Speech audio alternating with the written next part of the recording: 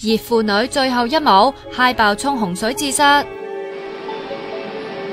台风尤特上月中吹袭菲律宾，喺吕宋岛嘅伊莎贝拉省，洪水暴发，人人都走上岸边。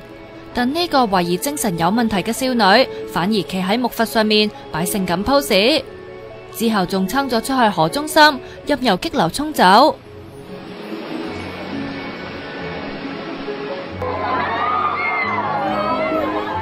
岸边群众睇到心惊，可惜欲救无从。